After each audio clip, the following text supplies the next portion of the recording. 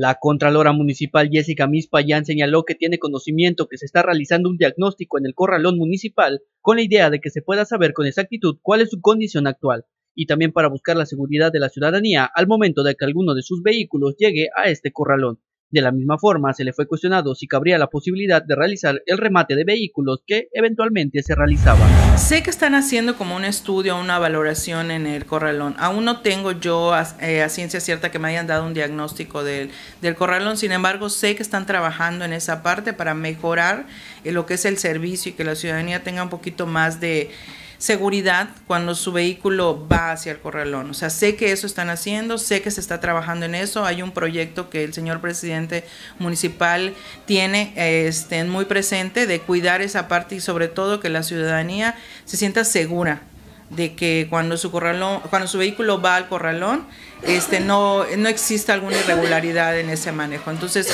hay un proyecto que está trabajando tanto Secretaría Técnica y que el presidente municipal está encargándonos para efecto de que se pueda hacer. Ahorita todavía no nos ha llegado el diagnóstico, no tenemos, pero estamos trabajando en eso.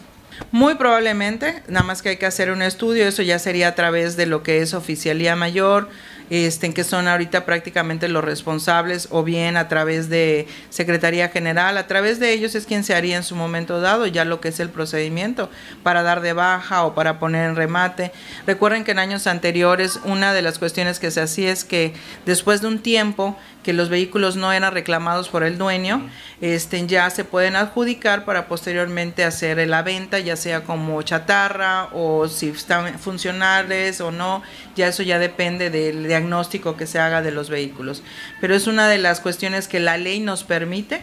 entonces este, en su momento dado se está trabajando casi todos los días en tratar de buscar soluciones o las mejores, los mejores, mejorar los servicios para la ciudadanía. Y una de estas cuestiones es la parte del gorralón o lo que se tiene ahí y que se pueda dar de baja o en su momento dado vender. Con imágenes de Fidel Sabido informó para Canal 10 Iván Maldonado.